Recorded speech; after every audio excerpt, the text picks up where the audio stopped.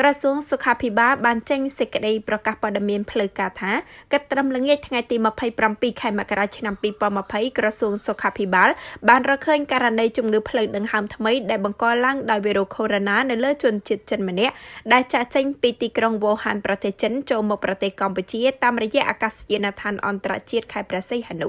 លោកមុំប៊ុនហេងរដ្ឋមន្ត្រីក្រសួងសុខាភិបាលបានថ្លែងនៅក្នុងសន្និសីទកាសែតនាប្រលប់ថ្ងៃទី27ខែមករាឆ្នាំ2020ថាអ្នកជំងឺដែលឆ្លងវីរុសកូវីដ -19 ថ្មីនេះបានកំពុងដាក់នៅដាច់ដោយឡែកពីគេនៅក្នុងមន្ទីរពេទ្យខេត្តព្រះសីហនុបរិសុជនជាតិចិនដែលឆ្លងវីរុសនេះគឺមានឈ្មោះថាចាចិនហួរភេទប្រុសអាយុ60ឆ្នាំធ្វើដំណើរមកពីទីក្រុងវូហានជាមួយនឹងក្រុមគ្រួសារ4នាក់ដែលសំណាងបានយកមកធ្វើការវិភាគទាំង4នាក់នេះមានវិជ្ជមានវីរុសកូវីដ -19 តែម្នាក់គត់គឺលោកចាស់ចិនហួរក្រសួងសុខាភិបាលសូមជម្រាបជូនសាធារណជនទាំងអស់ឲ្យបានជ្រាបថាកិត្តមកត្រឹមម៉ោង3រសៀលថ្ងៃទី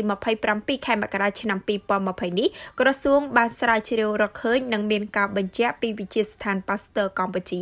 នៅករណីវិជ្ជមានវីរុសកូវីដ -19 ប្រភេទថ្មីនៅលើបុគ្គលជនជាតិចិនម្នាក់ឈ្មោះចាចិនហួរភេទប្រុសអាយុ60ឆ្នាំធ្វើដំណើរមកពីទីក្រុងវូហានជាមួយនឹងក្រុមគ្រួសារ4នាក់ដែលសំណាងបានមកធ្វើការវិភាគទាំង4នាក់នេះមានវិជ្ជមានវីរុសកូវីដ -19 តែម្នាក់គត់គឺលោកចាចិនហួរអ្នកទាំង4នាក់នេះគឺមានឈ្មោះដូចខាងក្រោម1លោកចាចិនហួរភេទប្រុសអាយុ60ឆ្នាំកាន់ប៉ាសពតលេខ E54 31 98 91 2លោកស្រីវ៉ាងលីនចេនភេទស្រីអាយុ57ឆ្នាំកាន់ប៉ាសពតលេខ E06 13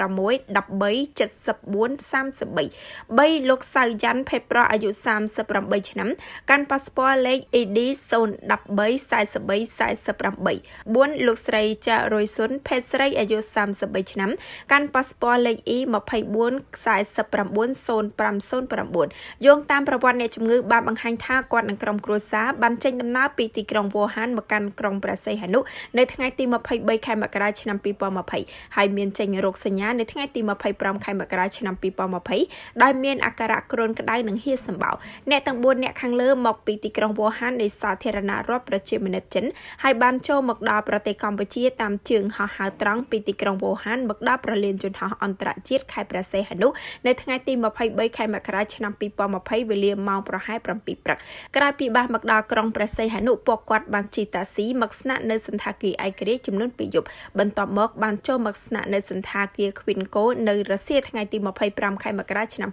2020នៅរសៀលនោះដែរលោកចាចិនហួរបានលេងទឹកអាំងរយៈពេល2ម៉ោងរួចក៏មានអាការៈក្តៅខ្លួនល្ងាចថ្ងៃដដែលនោះភរិយារបស់គាត់ឈ្មោះវ៉ាងលីនចេងបានទូរស័ព្ទទៅលេងក្រុមគ្រួសារនៅប្រទេសចិននិងបានប្រាប់ថាប្តីរបស់គាត់មានអាការៈក្តៅខ្លួនបន្ទាប់ពីទទួលបានព័ត៌មានពីអាយដាមគួយចម្រើនអភិបាលនៃគណៈអភិបាលខេត្តព្រះសីហនុនៅថ្ងៃទី26ខែមករាឆ្នាំ2020អាជ្ញាធរខេត្តរួមជាមួយនឹងលោកស្រីប្រធានមន្ទីរសុខាភិបាលខេត្តព្រមទាំងមន្ត្រីឆ្លើយតបបន្ទាន់របស់មន្ទីរសុខាភិបាលខេត្តព្រះសីហនុបានសកម្មនៅក្នុងការស្រាវជ្រាវរកករណីខាងលើនេះហើយបានរកឃើញថាគាត់កំពុងស្នាក់នៅសន្តាគារ Quinco ក្នុងក្រុងព្រះសីហនុបន្ទាប់មកក្រុមការងារសុខាភិបាលខេត្តព្រះសីហនុបានយកវត្ថុវិភាគស្របតាមលក្ខណៈបច្ចេកទេសដែលបានណែនាំដោយក្រសួងសុខាភិបាលនៅថ្ងៃដដែលនិងបានបញ្ជូនវត្ថុសំណាក់ពីច្រមុះនិងបំពង់ករបស់បុគ្គលទាំង4នាក់ខាងលើនោះមកធ្វើការវិភាគនៅមន្ទីរពិសោធន៍វិទ្យាស្ថានប៉ាស្ទ័រកម្ពុជា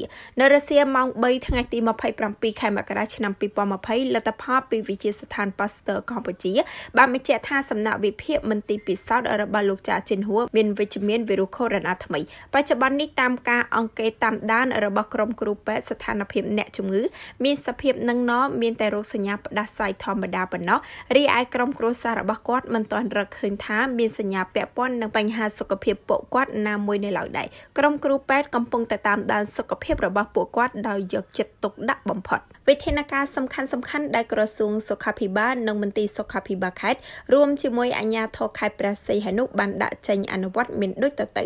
ដាក់អ្នកជំងឺនៅបន្ទប់ដាច់ដោយឡែកនៅមន្ទីរពេទ្យខេត្តព្រះសីហនុដើម្បីតាមដានក៏ដូចជាផ្ដល់ការព្យាបាលដោយយកចិត្តទុកដាក់ជាទីបំផុតដាក់ក្រុមគ្រួសារគាត់ឲ្យស្ថិតនៅក្រោមការតាមដានសុខភាពនិងស្វែងរកអ្នកប៉ះពាល់ផ្សេងទៀតដើម្បីធ្វើការអប់រំសុខភាពព្រមទាំងតាមដានសុខភាពពួកគាត់និងបាញ់សម្លាប់មេរោគកន្លែងគាត់ស្នាក់នៅរាយការណ៍ជូនស្ថានទូតចិនប្រចាំនៅកម្ពុជាអំពីករណីវិជ្ជមានខាងលើនេះ